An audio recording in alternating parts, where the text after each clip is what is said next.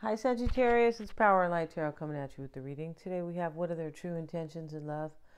And today, you guys, uh, we have another cool reading. I feel like we do. Here's the Ace of Wands showing up right away.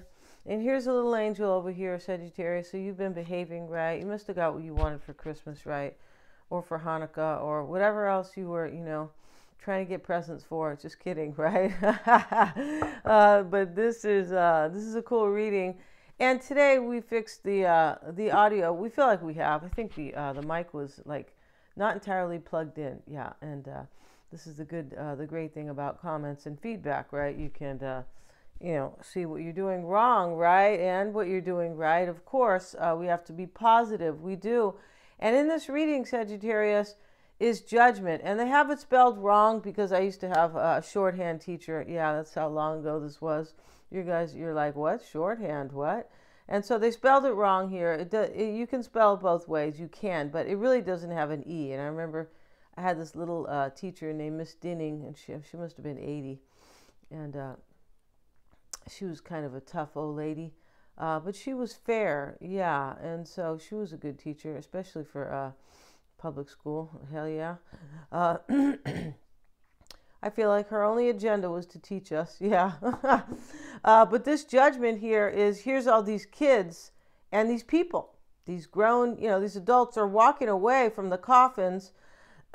and the angels, she's kind of like leaving. She already came and, you know, she blew the horn and she declared uh, her, her truth, right? Uh, because judgment is truth, right? It is. But this is somebody who's walking away and they're never looking back and they've been reborn, right? This is a rebirth. Not only does somebody want a rebirth with you, Sagittarius, but they have they're being reborn. They are, right? And so I feel like you got to give them a you might you might have to like kind of throw them a bone, Sagittarius, right? You might. And uh, I say this because this Nine of Cups, this is generosity. Uh, and this is from this uh, what is it? I forget the name. The the the uh, the Wildwood Tarot, which is yeah, it's a wild ride that tarot deck because it's super deep, right? But today we have this card, the Nine of Cups or Vessels, and here's a man. He's he's meditating, right? Which you know, definitely a good reminder to meditate, right? He's over this cauldron, and all these cups are here, uh, and you know he's in his alpha state. That's what meditation is, and uh, you know this talks about somebody who is going through an awakening and they realize compassion. So it's like they have this wisdom, uh, and then they start to show compassion. Somebody's sorry for what they've done because they, I feel like they've waken up, woken up, and they feel like, wow, I was really sleeping, like I was really immature and a low viber, possibly. No digs on anybody, but it does look like somebody was in that energy, and they're not anymore. And that's the most important thing. It's not the past. No, it's always, you know, uh, it's not the problems. It's finding solutions for the problems, right? Mm-hmm. Yeah, it's not that somebody might have a lot of bills. It's basically uh, finding, you know, the solutions, right? Uh, having enough, you know, money to pay those bills, right? You always look at the positive side, the upside. This is what we have to do because uh, your self-conscious listens so if you start mentioning all these negative words and, you know, blippity blip about that and blippity blip about those bills or whatever, uh, you're just going to attract more of that into your life, right? So somebody has woken up here and now they have so much compassion and love. So we start with the star child. Yeah, and let's see what that's about because these are the new moon cards, right? Mm-hmm. This is moon magic. Really interesting about this uh, deck, though. It must be super corporate because there's nobody's name on this deck. And I'm like, what? Yeah, I don't really like that. I like, you know, uh, when, you know, because uh, I feel like just, you know, maybe no artist really wrote this, which is annoying, right? Yeah, is, you guys. I'm just talking about Marie Bruce. Here she is. Thank you, Marie. And so, you know, she should be putting her name on stuff, right? Like I told my daughter, you have beautiful art, you know, why isn't it all over your house? Right? So let's get into it, Sagittarius. You could be saying, I've had enough of that, right? let's see what uh, the Star Child uh, talks about. And, you know, here's this, uh, here's this person, and placing the big star up in the sky. Yeah, this is beautiful, right? And this is guidance, protection, and shield. And the guidance here is by the universe, right? That's why, uh, you know, he or she's holding the star, right? And so this is why we have the nine of vessels here. It's an awakening and judgment as well. So somebody feels protected by the universe. It's like, wow, I, this is very cool because some people don't believe in in spirituality right which sounds kind of funny believe in spirituality because it's it's a belief system basically uh, in the universe and so you know uh, but now that they believe they feel the protection it's kind of a catch 22 a little bit right or i feel like it is. Mm-hmm. and so you are a cosmic child sagittarius of the universe and you have stardust within you okay i always call it pixie dust right And that must be the child in me, right? As such, you are protected by universal energies and higher powers, you see. Know that you will always come through difficult times with a good grace. And this is uh, why meditation is so important, you guys. Yeah, meditation provides protection for yourself. It does. It's the best way to say it without all these other, you know, uh, you can benefit, uh, it's really good for you uh, it'll do it'll be great or you know it's just really it provides protection and that's what somebody knows here right? They do. Let's see what esbat is about. And uh, you know some type of uh, word here of course right? Esbat let's see what esbat is. Uh, mm-hmm. Could be maybe you know some type of word to see here. We don't we're not, we would just be kind of guessing right? We don't want to do that. And this is ritual, awakening, and grounded. You see, this is what I mean, right next to judgment. And as I said, this is a different judgment. So, uh, or I, I implied here, right? Because they're they're not in the cop. They're not just waking up, right? You know, uh, where the you know the angel wakes them up and they said, Why'd you wake me up? I need my beauty sleep. No, it's not like that. They woke up and these people are walking away, right? And they're all holding hands here and they're never looking back. That's the whole point here. And none of them are. They're like, wow, we're going to a new place. It's a place of awakening. And when, you know, they show these people walking away, it's really showing that all I believe in is the future. Like the past is almost like a lie or something like that. Because within this awakening is, I'm not looking back. So somebody had an awake your person had an awakening in this reading, Sagittarius, and they are obsessed with making this happen. I say that because here's the nine of wings. Yeah, and we're not talking about, you know, buffalo wings, Sagittarius. We're not. We're talking about the nine of butterflies here, also known as the nine of swords, right? Uh, this is the true love, the true path, something, true love deck, uh, one of those, right? But here's obsession. And this means that it's not that they're obsessed and they're crazy and they live around the corner and you're like, oh my goodness, right? Uh, I need to call up my, you know, my ex to help me out here. No, it's more I'm obsessed with making this come true. Like this, I really want this. And it's fine because it's not all craziness, right? You know, we can't, it's not all crazy obsession. It's not, right? Here's judgment. And because they have walked away from something that they, I feel like your person left something. And so this is why it's so important for them also for this to work out. Like I've changed my whole life, right? And that's, you know, a big deal. Yes, it is. And whatever that is, it could be an ending. The death card's here. Your person might have ended something. And so here's the Queen of Pentacles showing up. The peacock is here. She's kind of the regular peak, uh, Queen of Pentacles, right? Uh, but this is about beauty, for sure it is uh, because of the, the peacock. Uh, I didn't know they had white peacocks, but it's fine, right? Yeah, I mean, you know, uh, I'm not a zoologist or, you know, a bird expert, right?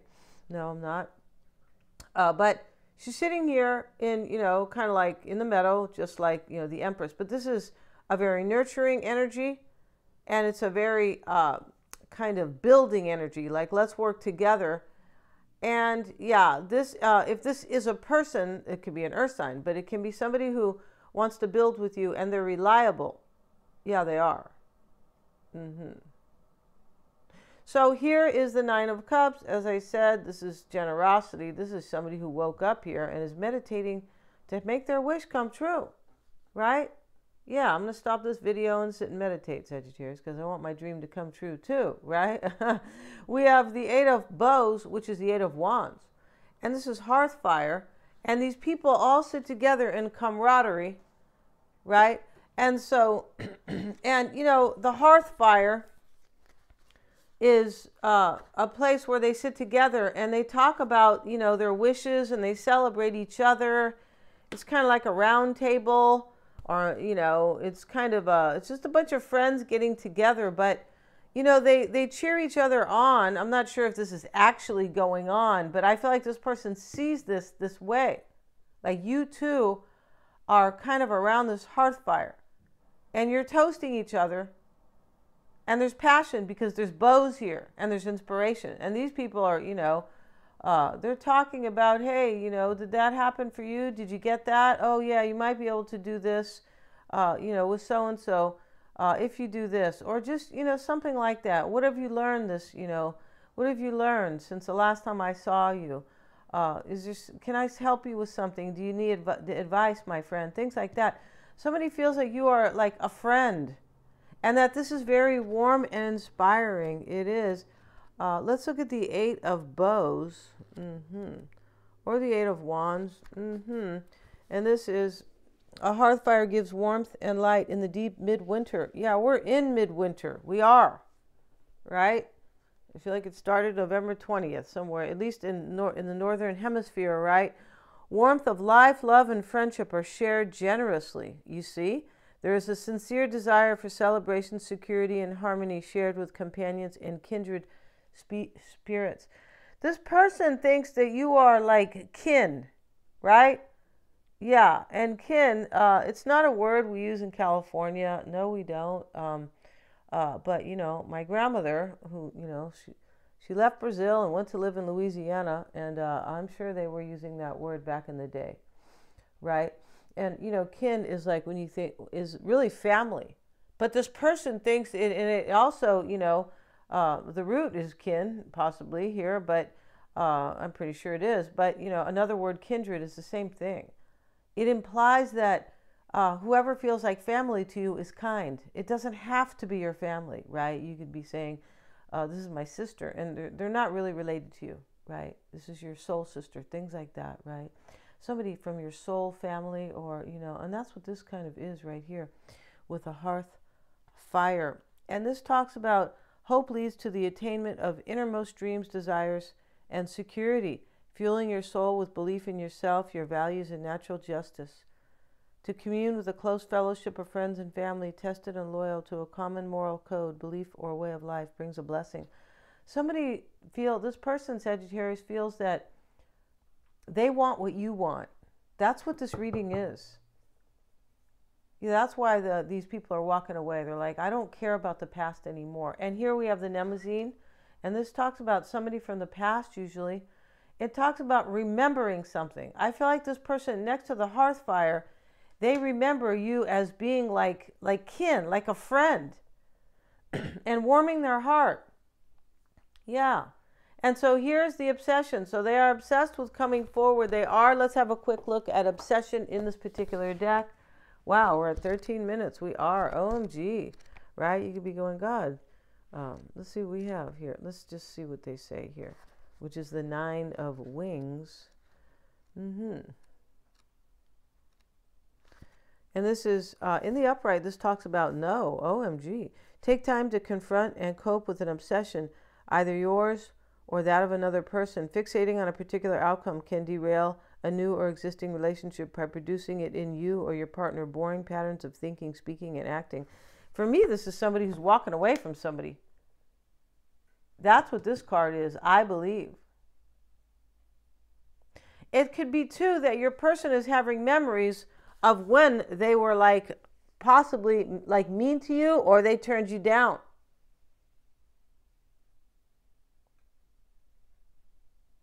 Somebody could be obsessed with your person walking away. Because here's the death card and here's the Ten of Wands.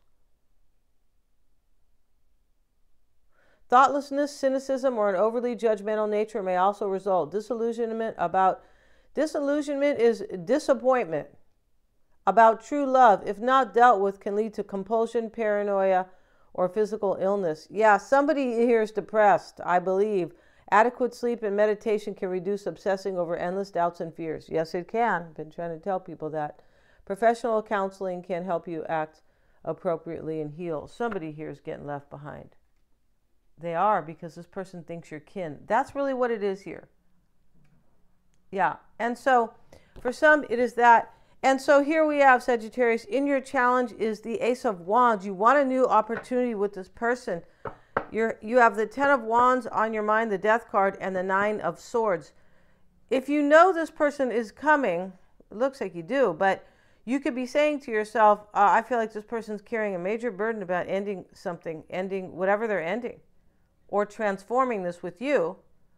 But there's a real ending here because of the card we just read judgment, never looking back. And this Ten of Wands and the Death card, they're both completions. And so is the Nine, but it's somebody who is kind of moving, like dealing with it the best they can. What you want, Sagittarius, is the King of Wands. That's you. Uh, and here is the couple hugging, or like, yeah, the couple is on the uh, the stone or the statue that kind of sits right in back of you here. This is what you're hoping for.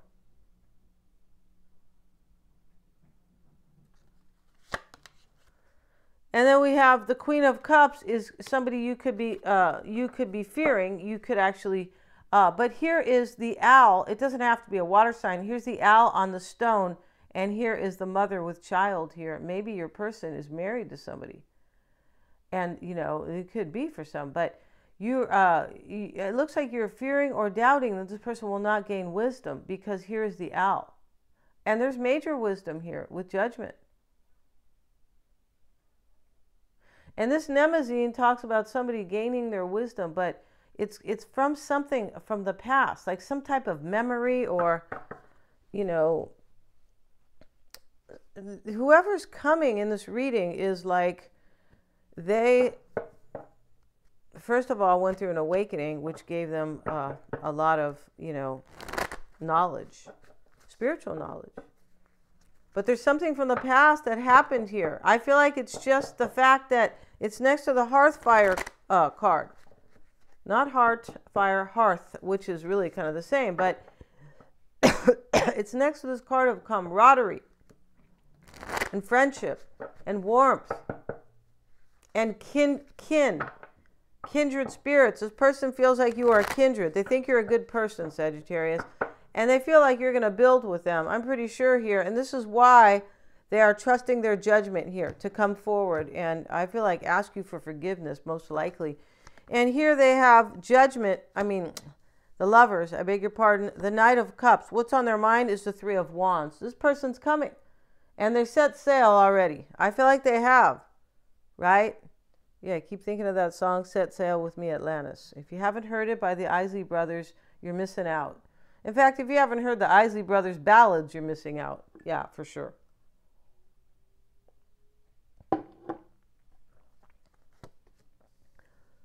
Knight of Swords and the challenge for them. They have to take some fast action here.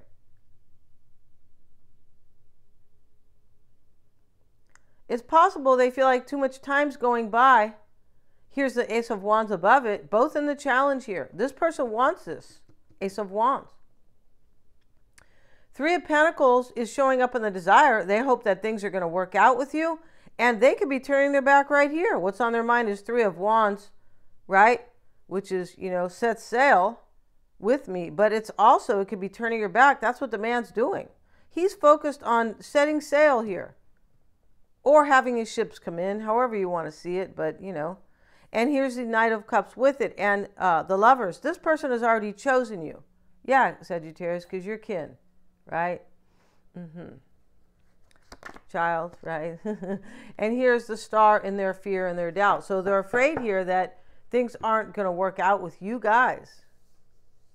Yeah, that's what they're afraid of. Mm-hmm.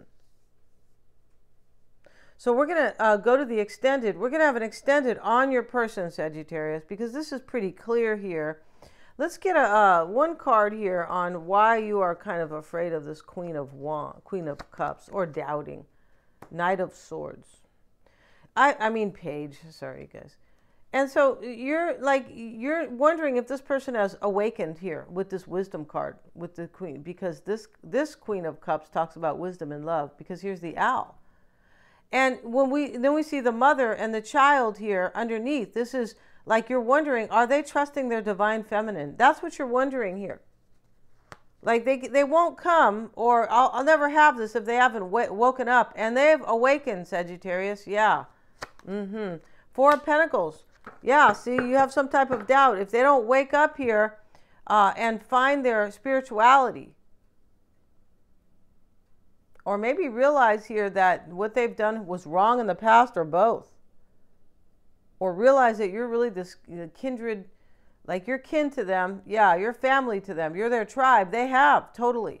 So we're going to have uh, a spread on them. We are a uh, you know, a spread and showing their advice and what they want, what's coming in for them, right? Uh, what's what they're putting in the past, what they're focusing on, and also uh, what they're expecting, their hopes and fears, and how they feel about you, Sagittarius, right? Uh, we're also going to uh, have another spread on your person, and we're going to have an oracle spread on them, like we always do. And let's see here. Let's see what cards we're going to use today. Today we're going to use uh, the Moonology cards, right? We have a few moon cards here. Uh, but we're going to choose to use these cards here. This is just how we're doing it today. Let's see what we have for Sagittarius' person. Uh, because we start the reading here, we end it in the other reading, right? Yeah, we do. For Sagittarius' person. We have luck is on your side, new moon in Sagittarius.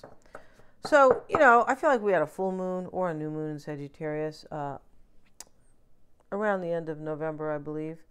Uh, could have been early December. I don't remember. Maybe even yeah. But, you know, uh, most likely because that is uh, the season of Sagittarius, right? But, you know, when we see the bow here, the bow and arrow, and this is about uh, the Wheel of Fortune and good luck. That's what this is about. Luck is on your side. This is about expansion. And this is their card, right? What's challenging your person or, or, uh, or supporting them is going to be it's time to take action. I said this earlier. I said they feel like time's running out. And I don't know where I got that from or why I was thinking that, but uh, it's fine. Probably showing up here uh, in the reading, and I don't remember uh, which card. Let's see. Uh, this is the new moon in Aries. So Aries is about taking action because it is the Fool, right? And this is what uh, Mars is about taking action. It's a very physical, uh, a physical sign here, right? Aries, and so this is supporting them they know it's the right time, but it's challenging them. They're thinking, well, I know it's the right time, but if I don't go now, the window could close. Yeah, no window remains open forever. That's just, there's no way, right? Yeah, if somebody tells you you have an open opportunity to go see them, it's different if it's your friend. But if it's a lover uh, and, you know, you contact them later, oh, I got married. Uh, no, no, no more open opportunities, right? Let's see what we have. And uh, why it's all happening for your person is believe in the impossible, the blue moon. So that's what they're doing. Uh, we're going to use these cards as well. These other moon cards we are. I want to see how these kind of work out together. And this will be a 10 card spread. They're all super affordable. I have the link below in the description box. I uh, beg your pardon for the uh, the audio yesterday. Yeah. Mm-hmm. And here I am, Sagittarius, with the horn. And it, it sounds good, right? As the angel. Mm-hmm. Thank you so much, you guys, for joining me here. And please remember to like, share, and subscribe.